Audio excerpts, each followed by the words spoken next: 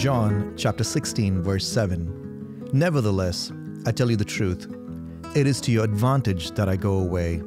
For if I do not go away, the helper will not come to you. But if I go, I will send him to you.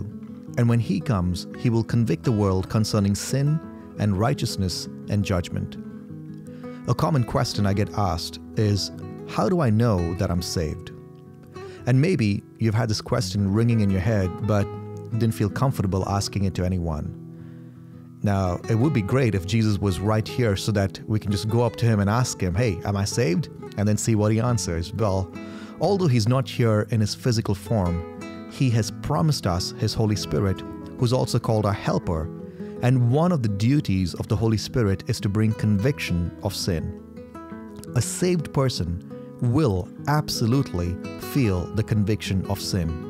Now, you can go a long time in a pattern of sin and keep trying to press it down and push it away, but because of God's great love for you and to preserve you, the Holy Spirit will keep on bringing you the conviction of sin. Now, this conviction is not to make you feel guilty or condemned, but to remind you that you are saved and you no longer live according to the passions of the flesh, but according to the Spirit.